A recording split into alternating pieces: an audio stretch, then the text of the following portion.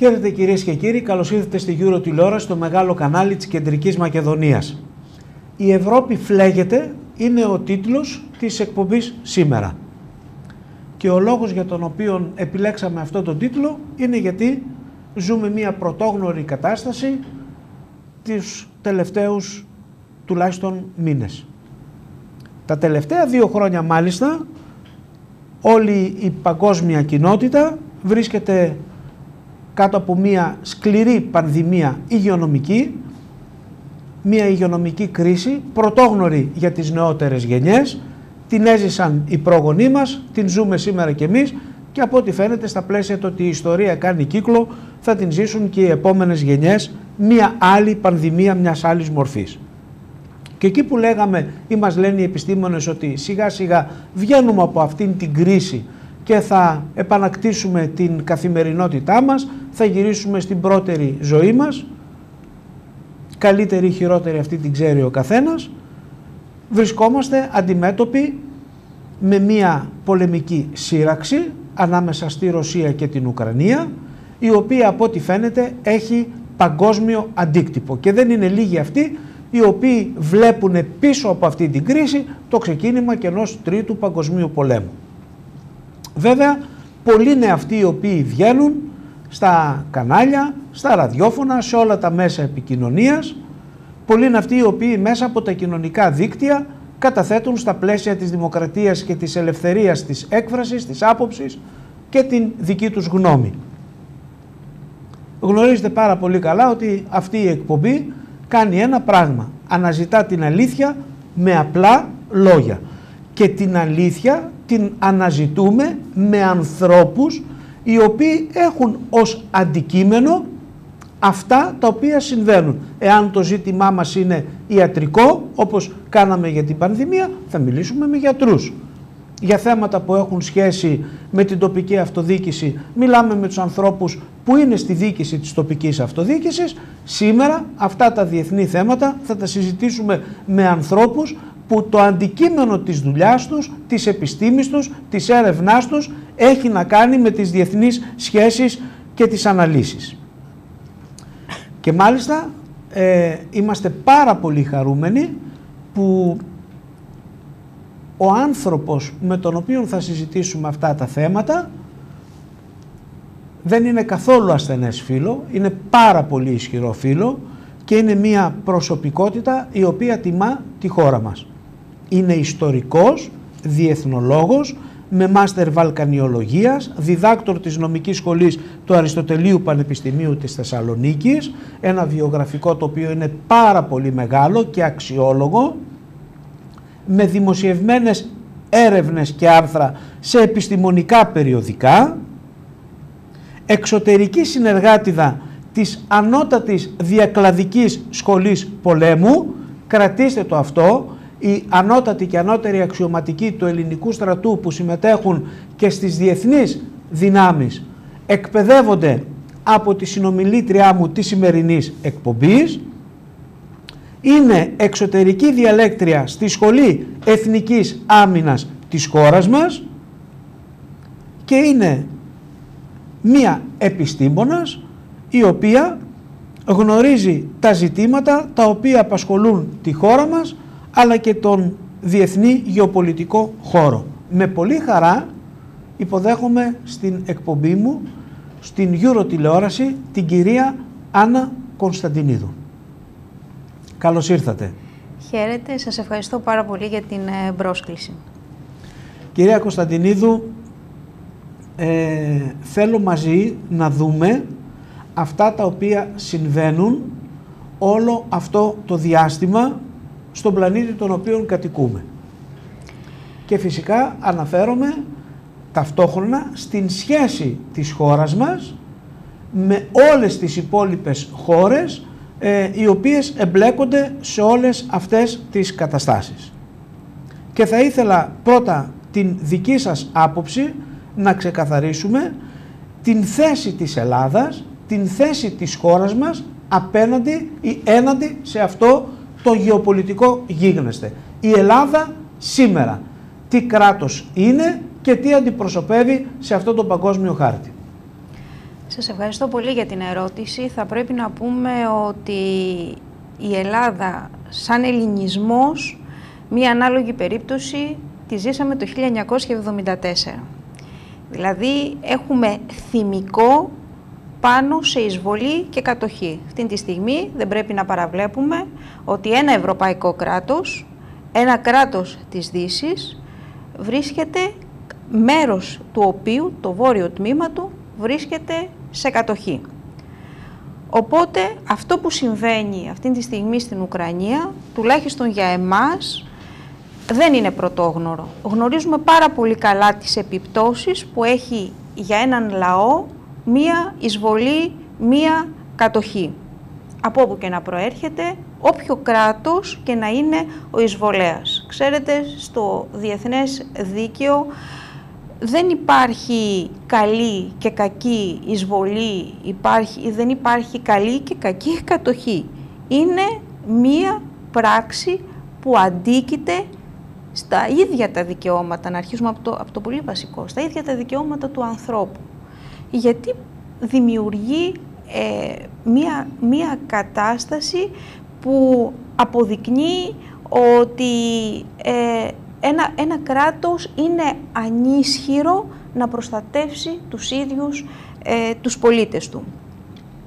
Είναι μία δυσάρεστη, είναι μία ε, αποτρόπαια πράξη που ωστόσο όχι μόνο η Ελλάδα που έχουμε εμείς το, το συγκεκριμένο θυμικό, αλλά κατά καιρούς και στη νεότερη, στη σύγχρονη μάλλον ιστορία του παγκόσμια ιστορία υπάρχουν ε, και επεμβάσεις που έχουν στεφθεί με το περίβλημα του ανθρωπισμού που δεν πάβει όμως να είχαν δυσμενές αντίκτυπο στα, στα, στα κράτη που γίνανε αυτές οι επεμβάσεις έχει ξαναζήσει ο κόσμος ανάλογες καταστάσεις. Βέβαια, η συγκεκριμένη ε, εισβολή έγινε, ας μην ξεχνάμε, και σε ένα χρόνο, όπως είπατε, που ήδη η ανθρωπότητα είχε βγει από μια παγκόσμια οικονομική κρίση, γιατί το 2008 είχε αρχίσει μια παγκόσμια οικονομική κρίση που είχε αντίκτυπο μέχρι πολύ πρόσφατα, κυρίως στην Ευρώπη,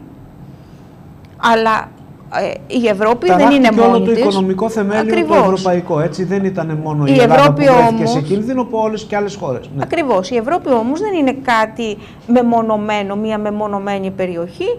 Έχει σχέσεις με τη Δύση, με την, με την Αμερική, έχει σχέσεις με την, με την Ανατολική Περιφέρεια κτλ.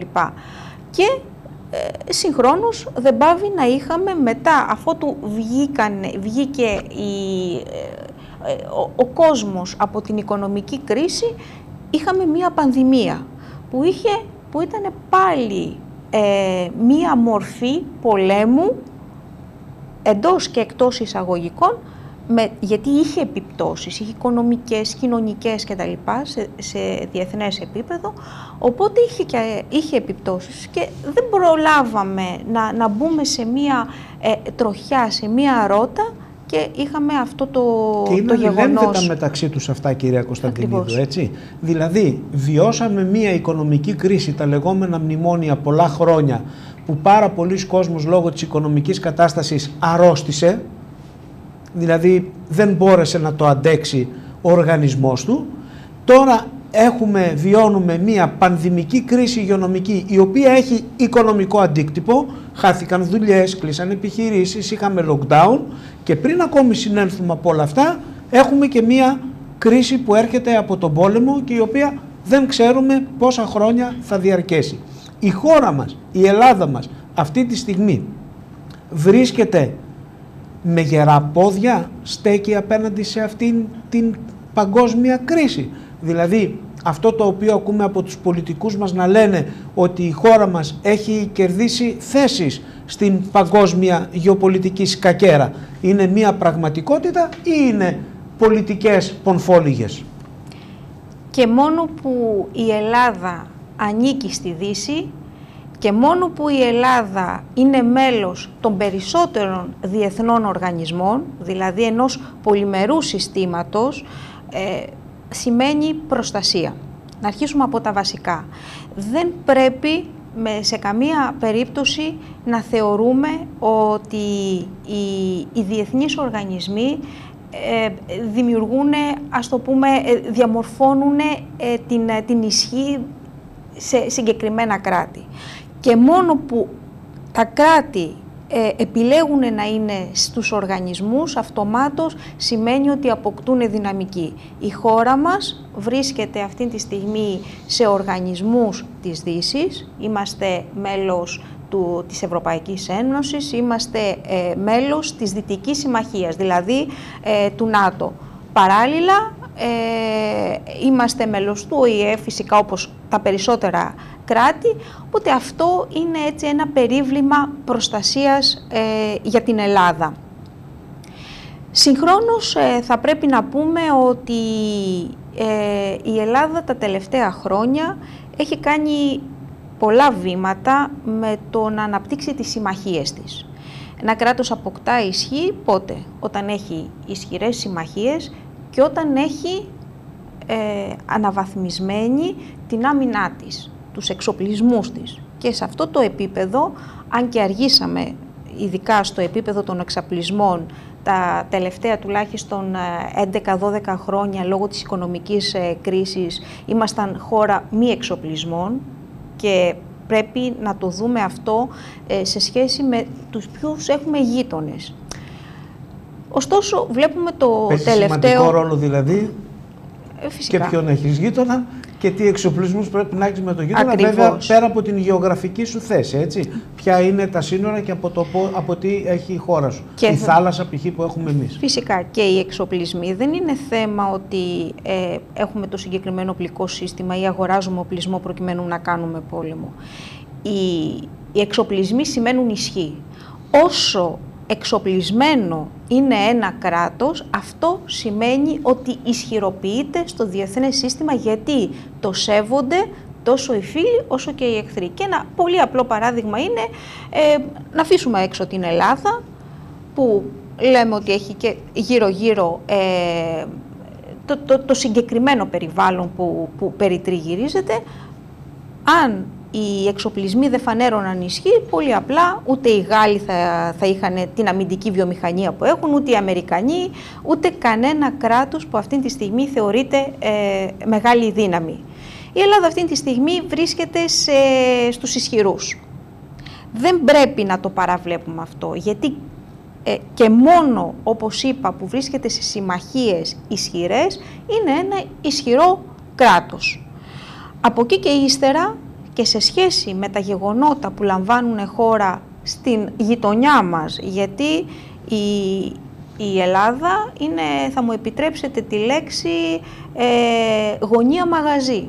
Είναι ένα κράτος το οποίο ο Θεός ε, μας αγάπησε τόσο πολύ που έχουμε την, μία από τις καλύτερες γεωστρατηγικές ε, θέσεις αυτή τη στιγμή στο, στο παγκόσμιο σύστημα. Οπότε είμαστε και κοντά στην Ανατολική ε, περιφέρεια. Ε, ένα πόδι μας πατάει στην Ανατολική. Το μεγαλύτερο ποσοστό του σώματος της Ελλάδας είναι Δυτική ε, περιφέρεια.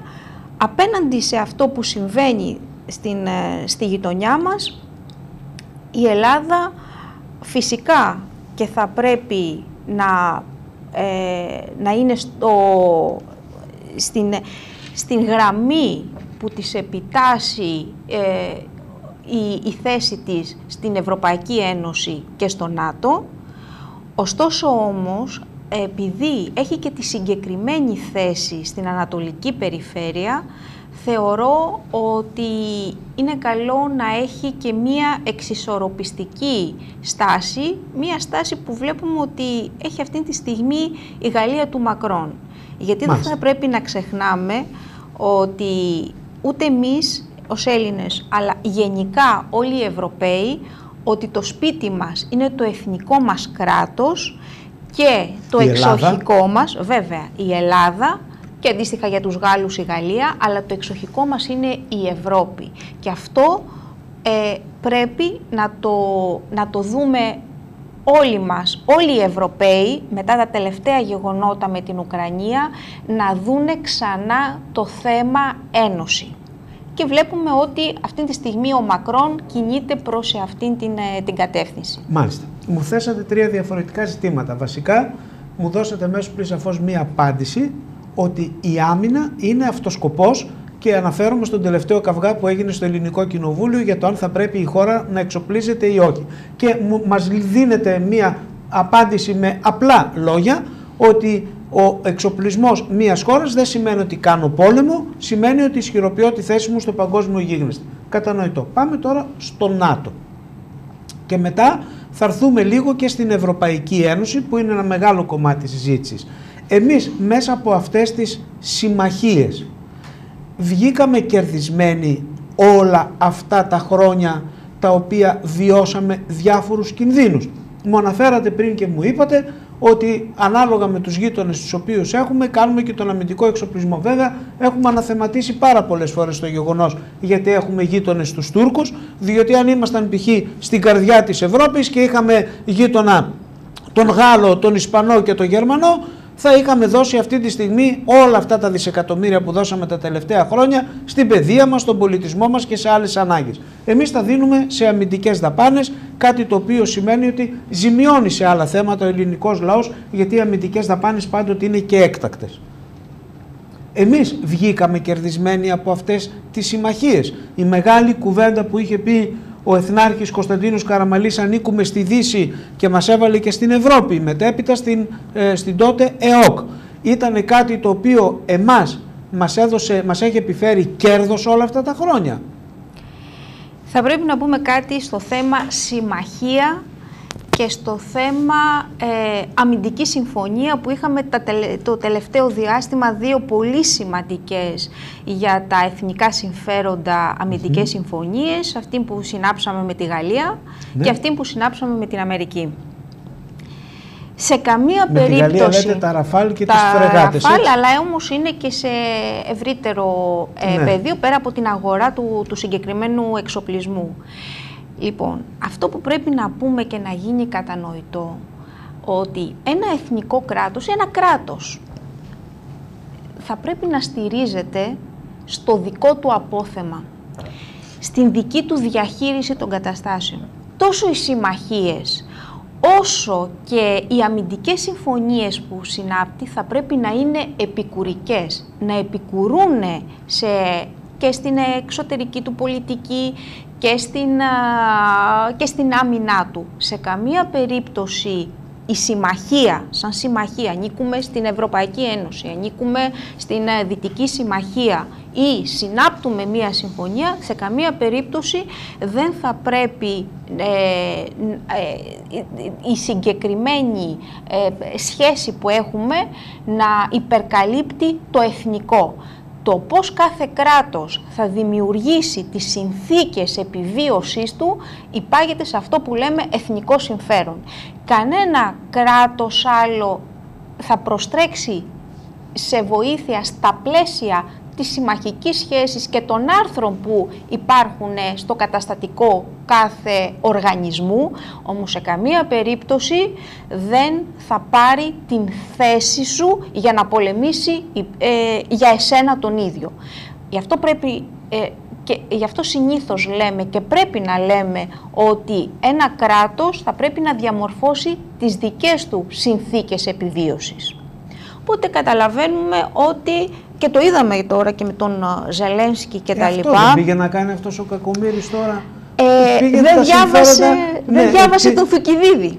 Λοιπόν, Αν διάβαζε τον Θουκυδίδη που τα είπαμε οι, οι Έλληνες Ήτανε, έχουμε... ήτανε δική του απόφαση αυτόβουλα λειτούργησε και είπε η Ουκρανία να μπει στο ΝΑΤΟ και μετέπειτα στην Ευρωπαϊκή Ένωση ή δέχτηκε επιρροές από άλλες χώρες με αυτά που διαβάζουμε και τις τελευταίες ώρες από μεγάλους, οικονομικού, ε, μεγάλους αναλυτές ε, όπως τον Τζον Μερσχάιμερ ο οποίος σε μακροσκελή του ανάλυση στον Economist λέει ότι άλλοι του έβαλαν ιδέες στο μυαλό με αποτέλεσμα όχι ότι νομιμοποιείται ο Πούτιν ε, Φυσικά. σαν ηγέτης της Ρωσίας με αυτό που έκανε αλλά ε, όσο να είναι τον τζάτισε τον Πούτιν και ο Πούτιν ε, στην προκειμένη περίπτωση βρήκε μία αφορμή ε, να κάνει αυτό το οποίο ήθελε να κάνει τόσα χρόνια, να μπει στην Ουκρανία.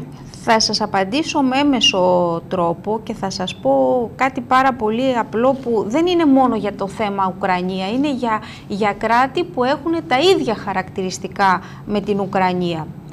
Επιτρέψτε μου λίγο πριν συνεχίσετε να πω ότι αυτή τη στιγμή που μιλάμε, για να το ξέρει ο κόσμος, γιατί βλέπει μόνο συγκεκριμένους πολέμους, ότι στον πλανήτη μας διεξάγονται και άλλοι 21 πόλεμοι σε άλλα 21 σημεία του πλανήτη. Δεν είναι μόνο ο πόλεμος Ρωσίας και Ουκρανίας. Είτε για ίδιους λόγους όπως είναι αυτός της Ρωσίας με την Ουκρανία, είτε για άλλες εμφυλιοπολεμικές ε, καταστάσεις, υπάρχουν άλλα 21 σημεία στον πλανήτη μας αυτή τη στιγμή που βρίσκονται σε εμπόλεμη κατάσταση.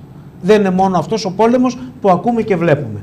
Ε, συγγνώμη και συνεχίστε. Ε, θα πρέπει να πούμε κάτι πάρα πολύ απλό, ότι η Ουκρανία και δεν είναι θέμα μόνο Ζελένσκι, αλλά το είδαμε και ε, το 2014 που είχε έναν ρωσόφιλο ηγέτη. Υπάρχουν κράτη στο διεθνές σύστημα που λειτουργούν ως buffer zones για τη διεθνή κοινότητα. Όταν λέμε buffer zones, τι εννοούμε; Εννοούμε ζώνες που ε, ε, ελκύουν τους κραδασμούς, ώστε να μην υπάρξει ένας γενικευμένος, ένας τρίτος παγκόσμιος ε, πόλεμος.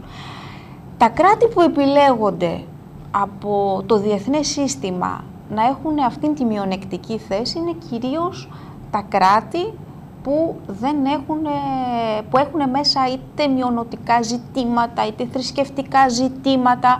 Δηλαδή είναι κράτη, και αυτό το, το είδαμε και στο Ιράκ, το βλέπουμε και στη Λιβύη με τις φυλές, δεν είναι ομοιογενή κράτη.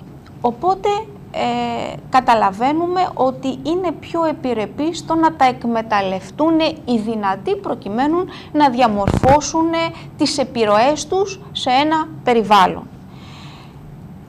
Φυσικά ε, το θέμα είναι ότι η Ουκρανία και όχι μόνο τώρα λειτουργήσε στη βάση των επιταγών προηγουμένως μέχρι δηλαδή το 2014 ε, όταν ε, είχε, είχε αλλάξει η ηγεσία, όταν είχε πέσει ο προηγούμενος ρωσόφιλος ηγέτης να λειτουργεί στη βάση των επιταγών της Ρωσίας και είδαμε ότι από το 2014 και μετά λειτουργεί στη βάση των επιταγών ε, της, ε, της Δύσης και κυριότερα της, ε, της Αμερικής.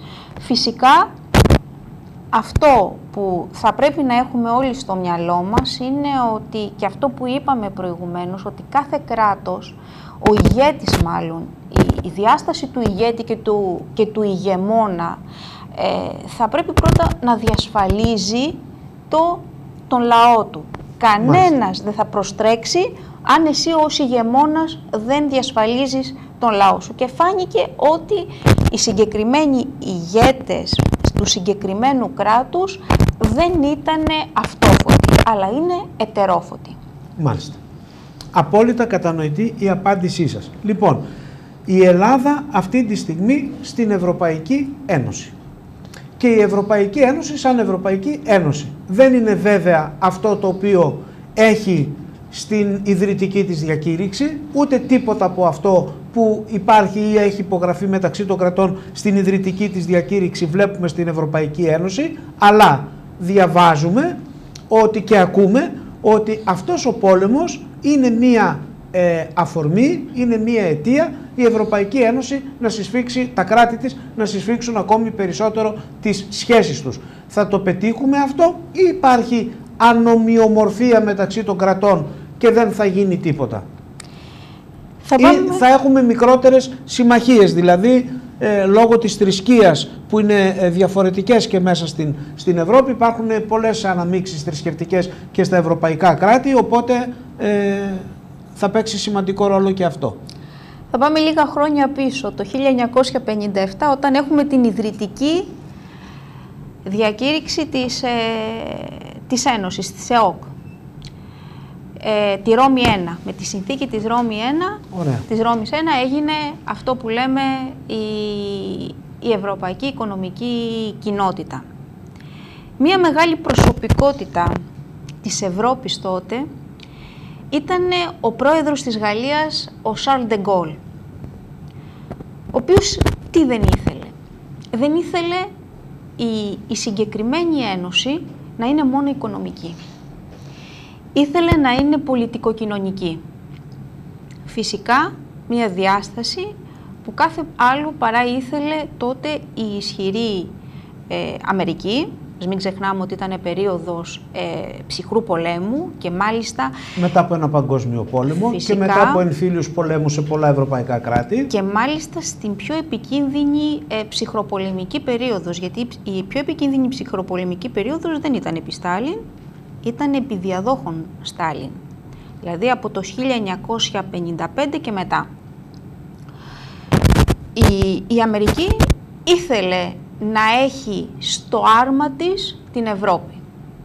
Γιατί η Ευρώπη φυσικά έχει ένα, ένα πολύ μεγάλο εύρος χωρών που αγγίζουν και την ε, Ανατολική Περιφέρεια.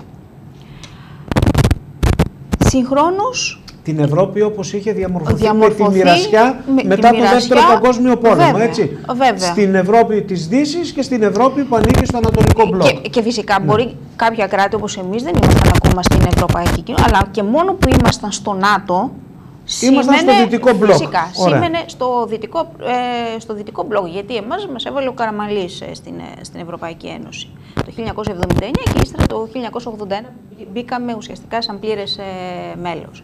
Αλλά από εκεί και πέρα ο, ο Ντεγκόλ ήθελε να κάνει ένα διαφορετικό οικοδόμημα. Ενδεχομένως, αν και η ιστορία όπως ξέρουμε όλοι δεν γράφεται με τα εάν και τα εφόσον, σίγουρα η, αν υπήρχε ένα πολιτικό οικοδόμημα, αν η Ευρώπη ήταν πολιτικό οικοδόμημα, ενδεχομένως να μην βιώναμε πολύ δύσκολες καταστάσεις, γιατί η Ευρώπη δεν είναι τώρα η, με την οικονομική κρίση του 2008 που βίωσε δύσκολες καταστάσεις. Η Ευρωπαϊκή Ένωση βίωσε ήδη καταστάσεις και παρόμοιες, αλλά δεν, μας, δεν, ε, δεν βάλαμε μυαλό, δεν, δεν, μπήκαμε στα, δεν πήραμε το ανάλογο μάθημα με τους Αραβο-Ισραηλινούς πολέμους, όταν πάλι αντιμετώπισε ενεργειακή κρίση.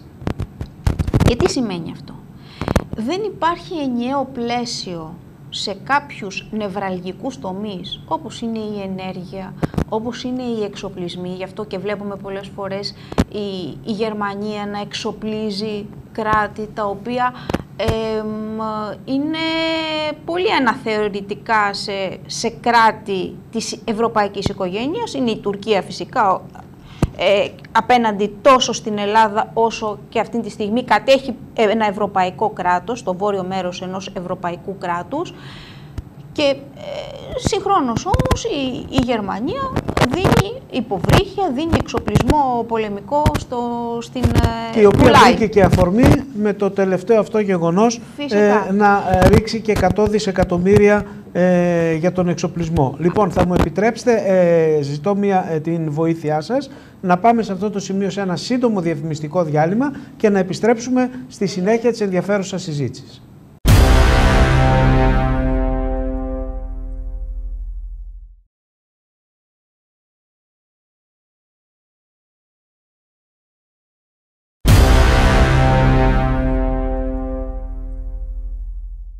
Επιστρέψαμε μετά το σύντομο διαφημιστικό διάλειμμα εδώ στη Euro τηλεόραση να συνεχίσουμε την ενδιαφέρουσα συζήτησή μας με την κυρία Άννα Κωνσταντινίδου, ιστορικό διεθνολόγο, για, τα, για το παγκόσμιο γίγνεσθε «Η Ευρώπη φλέγεται» ο τίτλος εκπομπής. Κυρία Κωνσταντινίδου, Ελλάδα, Τουρκία. Βρισκόμαστε με έναν γείτονα με τον οποίο έχουμε κοινό ιστορικό παρελθόν, οι λαοί μας, ο οποίος όμως από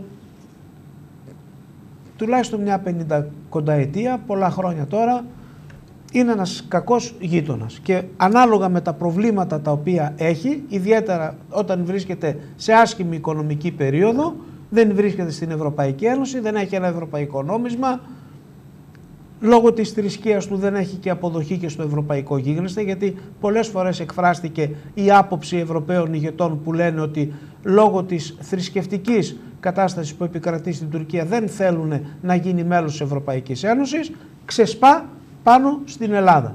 Και αυτό το ξέσπασμα η Ελλάδα το επιβαρύνεται οικονομικά και γεωπολιτικά με τα όποια προβλήματα δημιουργούνται. Τι κάνουμε απέναντι σε αυτό το γείτονα;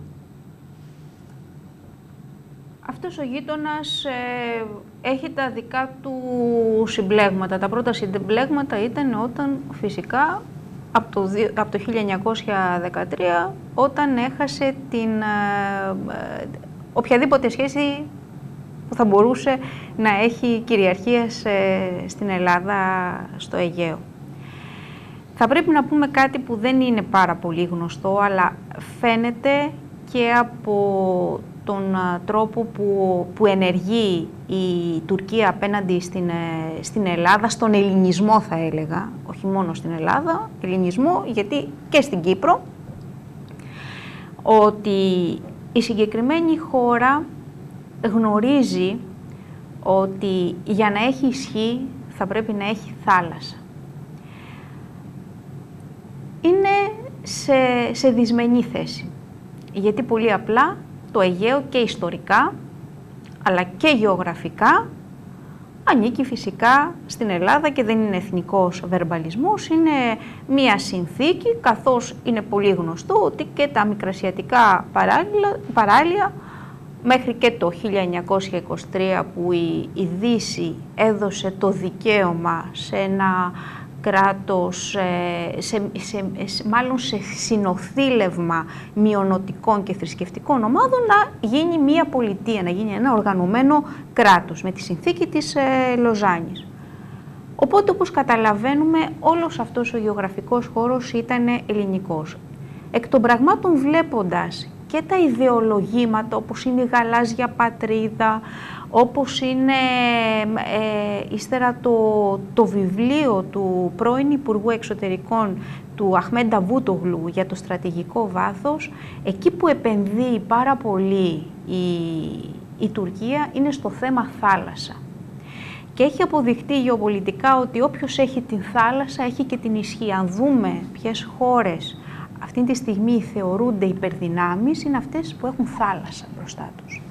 Οπότε από εκεί και μόνο να καταλάβουμε ότι ο μεγαλύτερος εχθρός της Τουρκίας, ακόμα και αν δεν είχαμε τα ζητήματα που έχουμε, ε, είχαμε οριοθετήσει τις θαλάσσιες ζώνες μας, θα έβρισκαν τρόπο ώστε ε, να μας δημιουργούν πρόβλημα.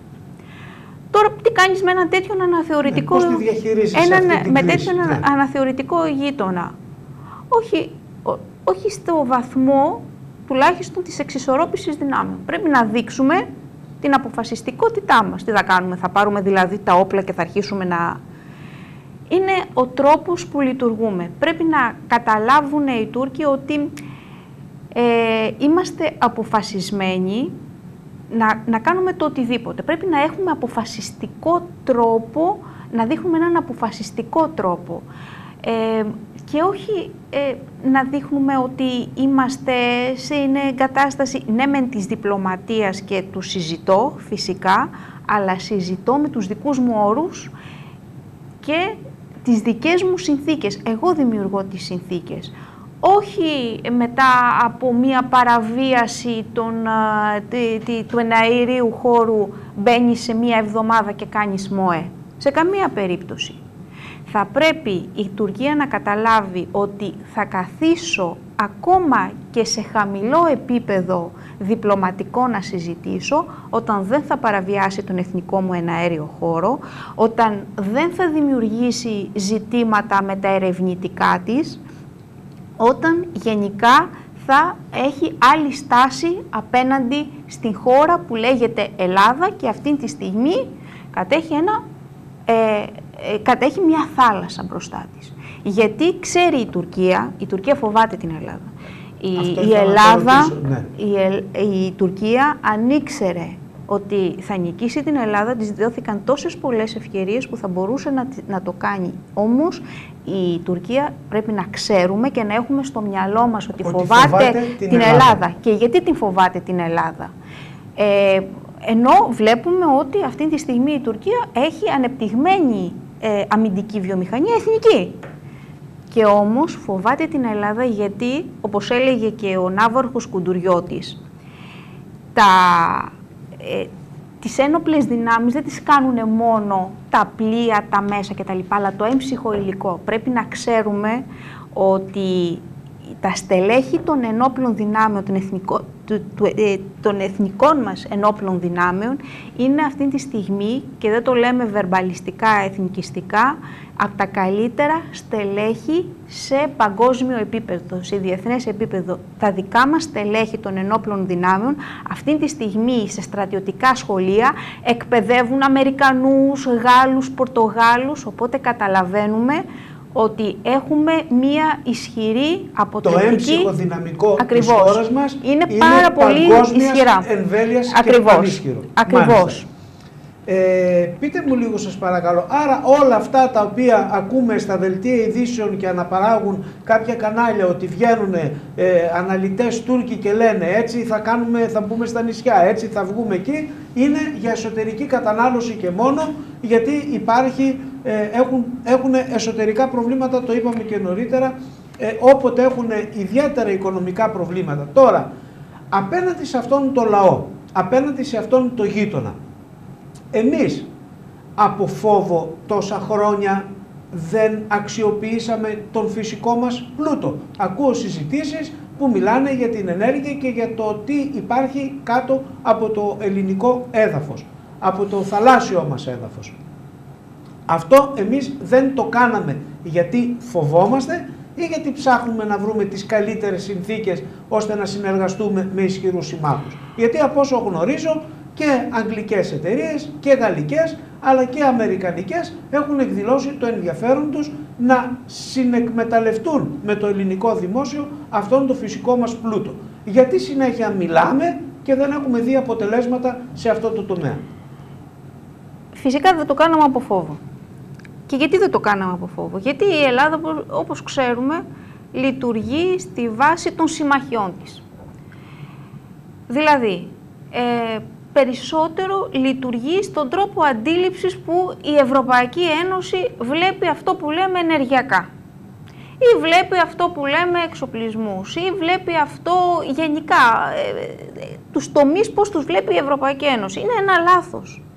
Είναι ένα λάθος που το είπαμε και στην αρχή της ε, συζήτησής μας της σημερινής ότι θα πρέπει να επενδύσουμε και να δούμε το, το εθνικό όχι να, ε, το, το φεντεραλιστικό, εκεί δηλαδή το συμμαχικό, να ε, περιθωριοποιεί το εθνικό.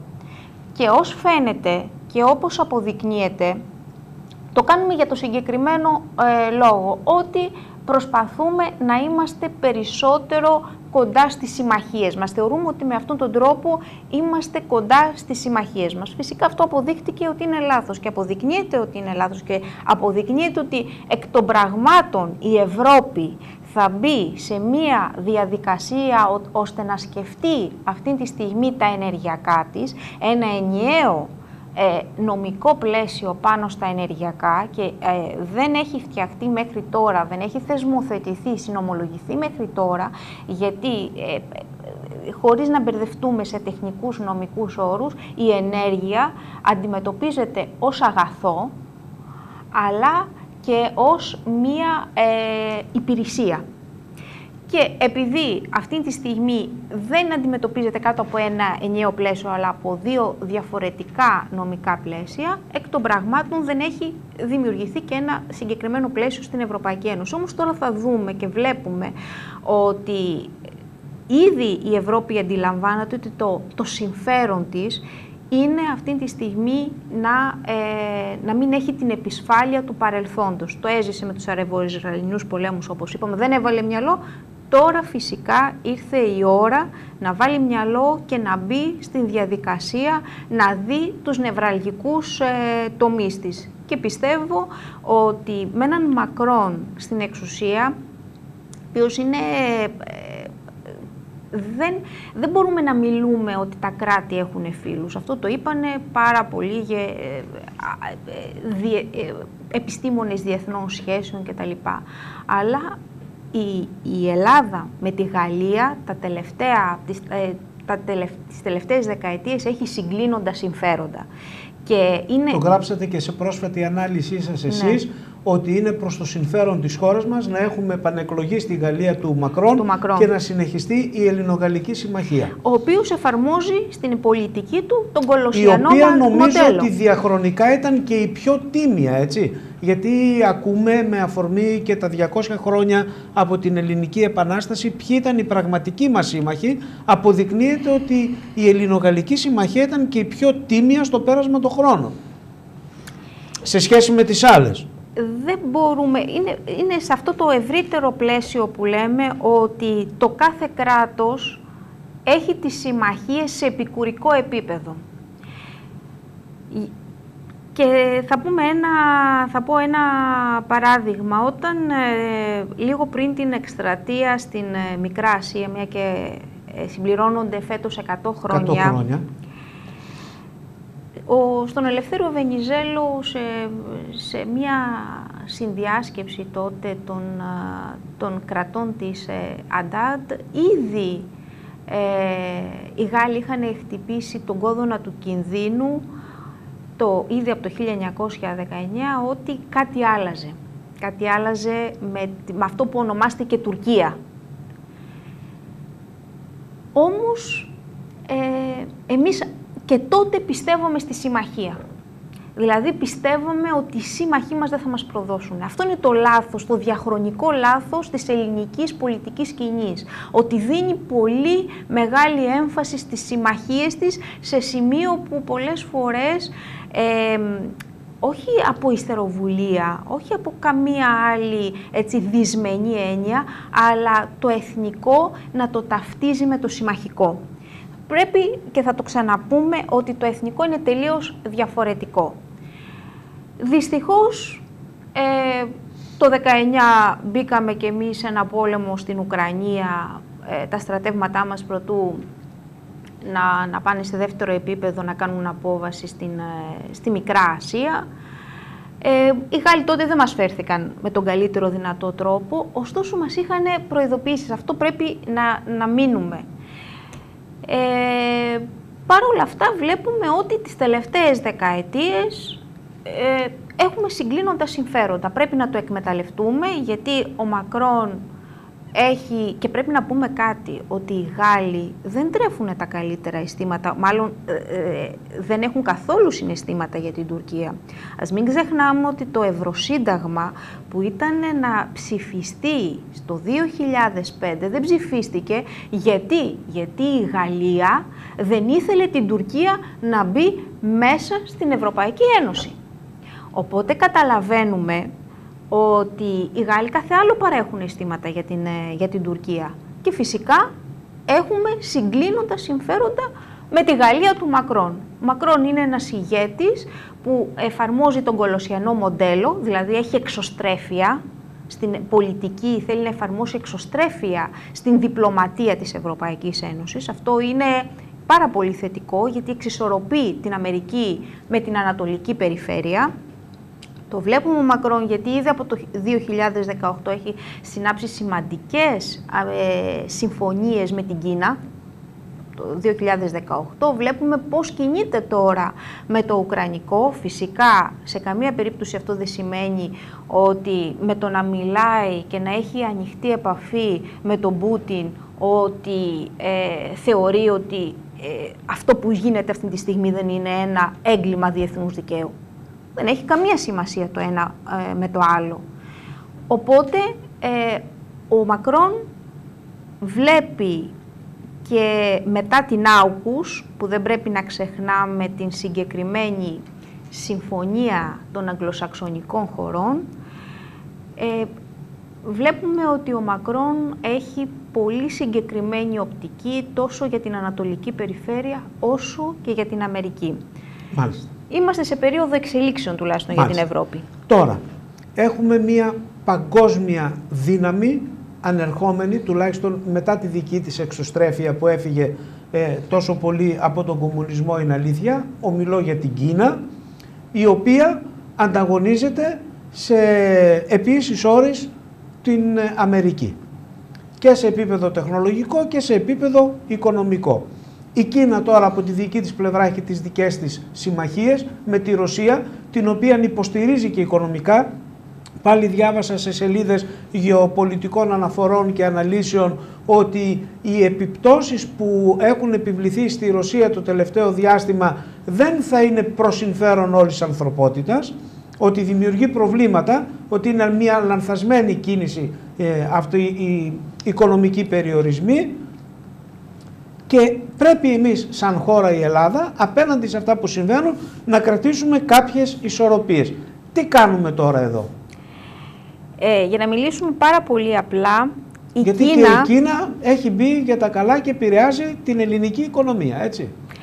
Να, ε, να πούμε κάτι πάρα πολύ απλό και χωρίς ε, τεχνικούς όρους και τα λοιπά. Η Κίνα ανέκαθεν είχε αυτό το μοντέλο επεκτατισμού Δηλαδή, ποιο ήταν αυτό το μοντέλο επεκτατισμού.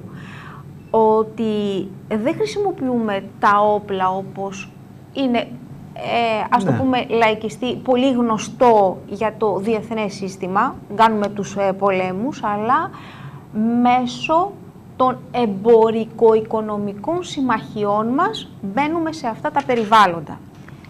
Επίσης ένα άλλο γεγονός που πρέπει να πούμε και αφορά όλες τις παραδοσιακές κοινωνίες, γιατί θα πρέπει να ξέρουμε ότι η Ανατολική Περιφέρεια είναι κατά κύριο λόγο παραδοσιακές κοινωνίες, δηλαδή βάζουν τα εθνολογικά και τα θρησκευτικά τους ζητήματα στην ίδια, ε, στο ίδιο μέτρο με, την, ε, με τα πολιτικά τους. Ε, ενώ αντίθετα η Δύση έχει διαμορφωθεί στη βάση των θεσμών, των αρχών, είναι πιο τεχνικά ο τρόπος, πιο τεχνικός ο τρόπος που διαμορφώθηκαν οι κοινωνίες ε, της Δύσης. Αντίθετα η Ανατολική Περιφέρεια είναι περισσότερο παραδοσιακή.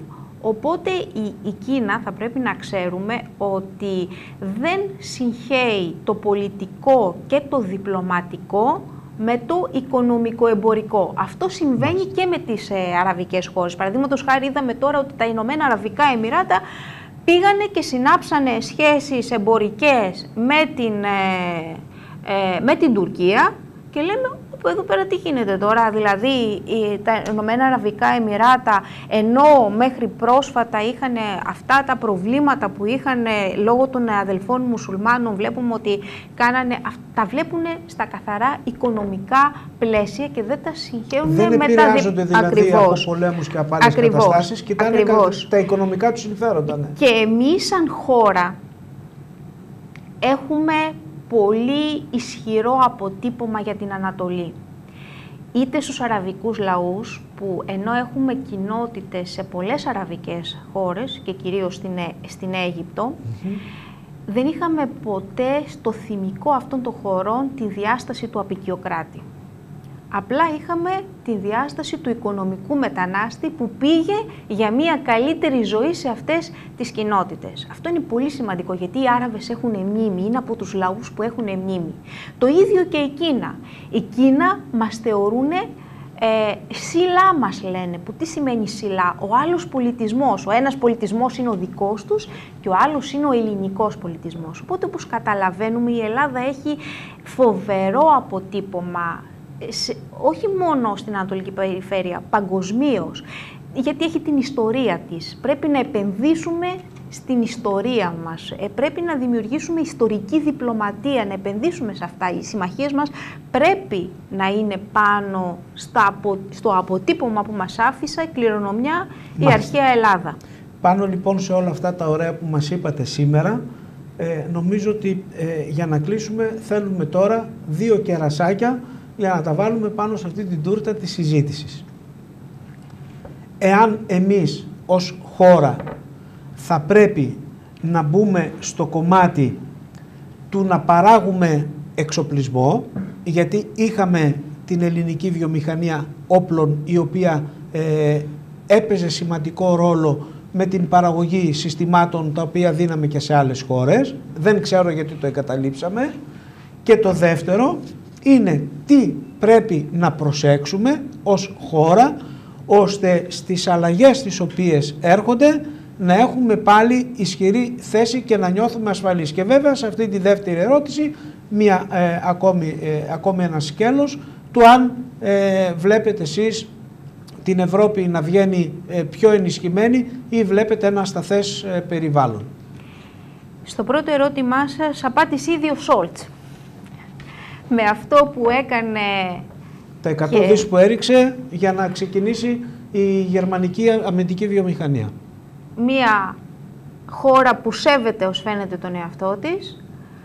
Τι έκανε ο Σόλτς, επένδυσε στην άμυνά της. Ακόμα περισσότερο επένδυσε στην άμυνά της. Αυτό είναι ένα παράδειγμα που θα πρέπει, αν θέλουμε να επιβιώσουμε ως κράτος, θα πρέπει να επενδύσουμε. Και θα πρέπει να πούμε κάτι ότι ακούγεται και λέγεται για η, Ελλάδα είναι σε μια κούρσα ε, εξοπλισμών, επενδύει πάρα πολλά, ότι θα μπορούσαν να φτιαχθούν μεθ αντί να αγοράσουμε ραφάλι ή να, να μπούμε σε πρόγραμμα κορβετών ή πλοίων κτλ, φρεγατών και αυτά. Πρέπει να ξέρουμε ότι ήδη υπάρχει ένας μηχανισμός στήριξης στα, στα κράτη-μέλη, όλα τα κράτη-μέλη της Ευρωπαϊκής Ένωσης, μέσω της ΚΕΠΑ, δηλαδή ότι δίνονται χρήματα για εξοπλισμού σε όλα τα κράτη-μέλη, εκτός βέβαια από τον εθνικό κορβανά, δηλαδή δεν μπορούμε όλα αυτά να τα, να τα ισοπεδώσουμε. Και επίσης, αυτό που θεωρώ ότι πρέπει να γίνει όπως και στην ενέργεια, πρέπει να δημιουργηθεί ένα ενιαίο εθνικό ε, ένα ενιαίο ευρωπαϊκό πλαίσιο θεσμικό για τα ζητήματα ενέργειας, το ίδιο πλαίσιο θα πρέπει να γίνει και ένα ε, νομικό πλαίσιο πάνω στα ζητήματα ε, ασφάλειας, ευρωπαϊκής ασφάλειας, δηλαδή των εξοπλισμών, σε ποια κράτη να διατίθενται κτλ. κτλ. Δηλαδή, η Γερμανία, γιατί αν υπήρχε αυτό το, το, το, το νομικό πλαίσιο δεν θα μπορούσε εύκολα να δίνει, να παρέχει, να πουλάει εξοπλισμούς στην Τουρκία, σε ένα τρίτο κράτος που είναι εχθρικό απέναντι σε κράτη της Ευρωπαϊκής Ένωσης, σε κράτη μέλη της Ευρωπαϊκής Ένωσης. Δηλαδή πρέπει να το δούμε αυτό, πρέπει να δούμε την επόμενη μέρα της ευρωπαϊκής ασφάλειας και κυρίως σε σχέση με το γεγονός ότι ο Σόλτς είπε και για συμπαραγωγή ε, στρατιωτικών εξοπλισμών ανάμεσα στην Γαλλία και στην Γερμανία, ε, είναι καλό να, να μπουν και τα κράτη, ε, δηλαδή να ανοίξει όλο αυτό το πλαίσιο. Και να μπουν και άλλα ευρωπαϊκά κράτη. Ακριβώς. Να Ο γαλλογερμανικός κράτη... ούτως ή άλλως άξονας υπήρχε στην παραγωγή κάποιων ε, εξοπλιστικών συστημάτων, και, από ό,τι φαίνεται αναζωπυρώνεται. Και κυρίως να, ναι. δώσουν, να δώσουν όθηση ε, σε, ε, σε χώρες της Ευρωπαϊκής Ένωσης που δεν έχουν ανεπτυγμένη ε, εθνική αμυντική βιομηχανία, είτε ιδιωτική είτε δημόσια, όπως αυτή τη στιγμή η Ελλάδα, να μπει ως συμπαραγωγή με αυτές τις μεγάλες δυνάμεις. το δεύτερο ερώτημα, στο δεύτερο ερώτημά σας η, Ευρώπη φυσικά ε, αυτή τη στιγμή βλέπει ότι θα πρέπει να δημιουργήσει το δικό της ε, πλαίσιο, να μην εξαρτάται από την, ε, από την να είναι ουραγός μάλλον της Αμερικής ή ε, εχθρός της Ανατολικής ε, Περιφέρειας. Είναι σίγουρο ότι ο πόλεμος στην Ουκρανία την έχει ταρακουνήσει πάρα, πάρα πολύ και φαίνεται από τον τρόπο που οι δύο ηγετικές ε, φυσιογνωμίες της Ευρωπαϊκής Ένωσης, η Γερμανία και η Γαλλία, προσπαθούν να εξισορροπήσουν καταστάσεις. Δηλαδή, ο τρόπος που κινείται αυτή τη στιγμή ο Μακρόν και ο Σόλτς πρέπει περισσότερο να τον βλέπουμε σαν εξισορροπιστικό. Και βλέπουμε ότι η, η Ευρώπη βρίσκεται σε ένα βήμα αναδιοργάνωσης του εσωτερικού της ε, κατεστημένου. Φυσικά η Ελλάδα είναι ένα κράτος που, όπως είπαμε, επένδυσε στις συμμαχίες της. Ε, φυσικά είναι ένα από τα κράτη που και λόγω της ε, γεωστρατηγικής της θέσης πάντοτε θα είναι χρήσιμη σε οποιαδήποτε συμμαχία και πόσο μάλλον στην Ευρωπαϊκή Ένωση.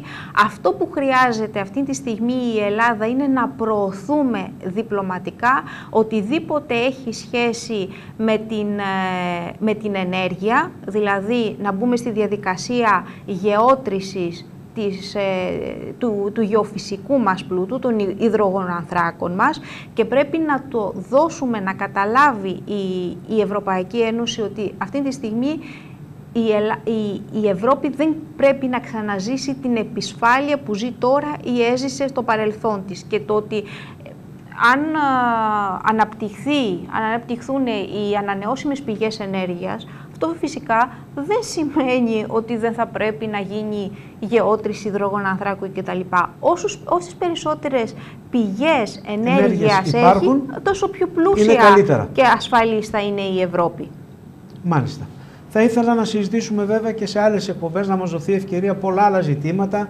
Είναι και το θρησκευτικό, τι γίνεται και με τις εκκλησίες, ότι είμαστε ομόθρησκοι, τι συμβαίνει ε, στο, στη γειτονιά μας γενικότερα, αλλά είπαμε σήμερα να κάνουμε μία συζήτηση για την κρίση της Ουκρανίας. Η Ευρώπη φλέγεται. Σας ευχαριστώ πάρα πολύ και εγώ και οι τηλεθεατές της Euro τηλεόρασης για τα όσα ενδιαφέροντα μας είπατε και αυτό θα συνεχίσουμε να κάνουμε, να ακούμε όλα τα θέματα από ανθρώπους οι οποίοι είναι το αντικείμενό τους και λένε πράγματα τα οποία είναι τεκμηριωμένα. Σας ευχαριστώ πάρα πολύ κυρία Κωνσταντινίδου για το χρόνο που μας αφιερώσατε. Σας ευχαριστώ πάρα πολύ για την τιμή να με προσκαλέσετε κύριε Σεραγενίδη. Εύχομαι καλή δύναμη και καλή συνέχεια. Σας ευχαριστώ πολύ. Ε, πάμε σε ένα σύντομο διαφημιστικό διάλειμμα και επιστρέφουμε πάλι εδώ στην εκπομπή Hashtag.